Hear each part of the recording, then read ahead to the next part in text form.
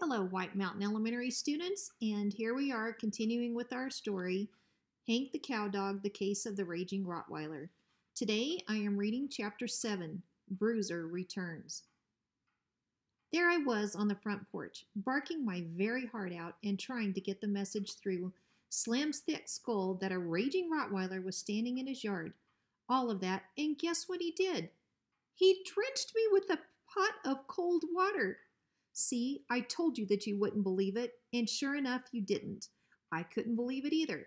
I mean, there I was in the trenches, in the foxholes of life, in a very dangerous combat situation, doing my job and trying to protect his house from a raging Rottweiler. And he stepped out on the porch and threw a pot of water on me. Slim did. Oh, and then he said, this is an exact quote. He said, Hank, I've run out of nice ways to tell you to quit barking. Now shut up and let me get some sleep. Bam! The door closed and he was gone.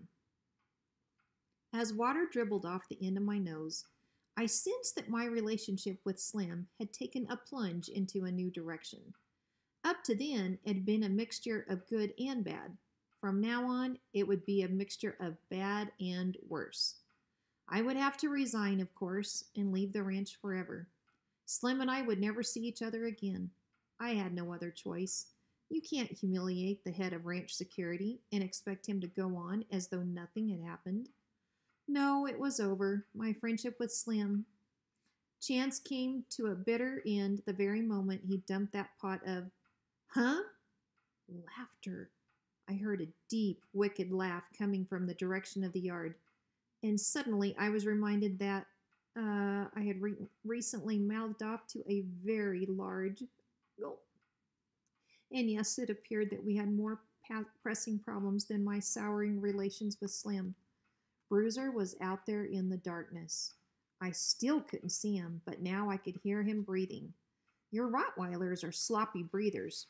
Did you know that? They are. They snort and slop when they breathe and on a dark night it sounds pretty eerie. I ran my gaze through the darkness. Drover, can you hear me? No answer then. I hear you. Good. Listen carefully. Our situation is looking grim. Number one, I have reason to believe that there's a dangerous Rottweiler in front of the house. I thought you said he was a scaredy cat. We may have gotten some bad information on that, son. Okay, number two, we barked the house for reinforcements, remember? They're not coming. We're cut off from the main column and we're on our own. Yeah, I know. Okay, number three, we need a volunteer to lead a scouting mission into the yard.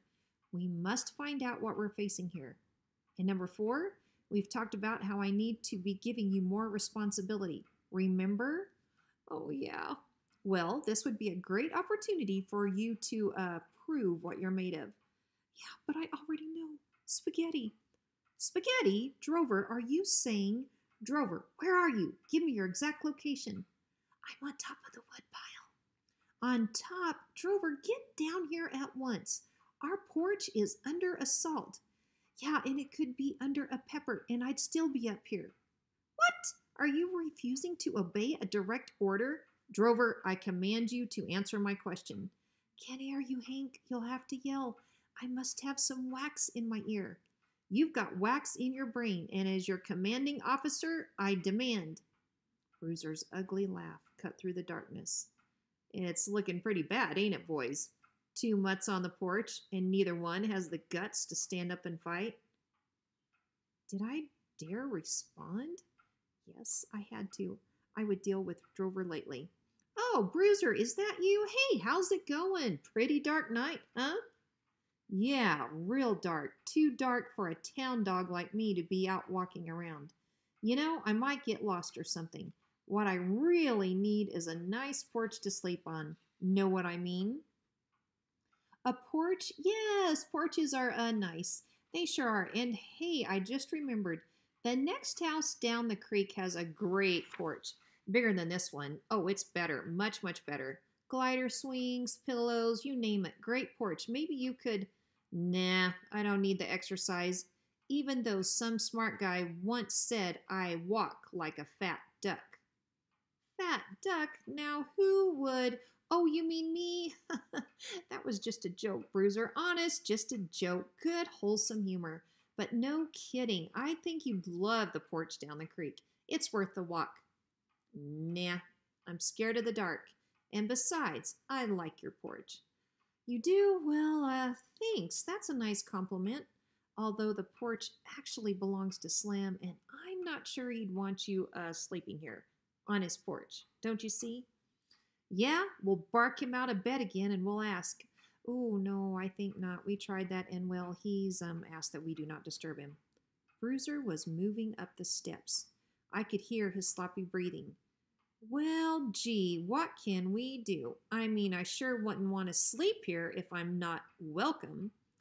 Oh, it's nothing personal. You just, he just doesn't allow, uh, well, strange dogs. See, sleeping on the porch. I'm sure you understand. Yeah, well, here's the way I figure it. I'm going to sleep on your porch. The only question is, how many dogs do I have to kill before I do it?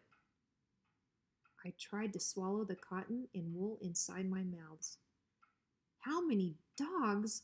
Bruiser, may I ask you a personal question? We were told, that is, we received a tip, that, well, maybe you're not as mean as you, um, seem to be. Is there any, well, truth to that?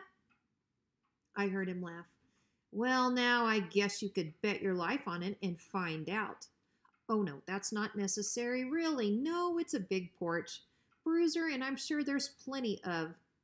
I have no an idea. I'll sleep on the porch, and you sleep on top of the woodpile with your buddy. How does that sound?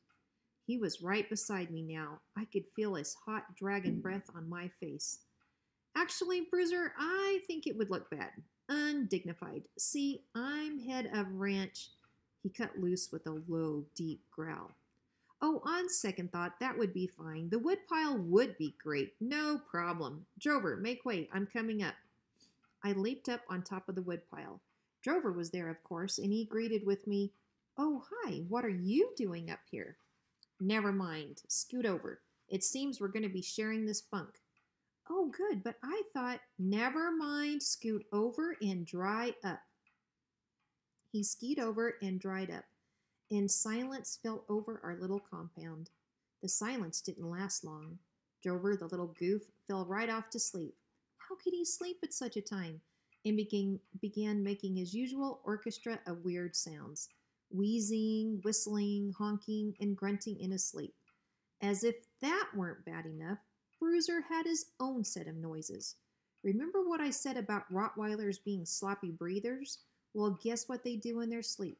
They snore. He snored like a 10 ton truck. No kidding, it was terrible.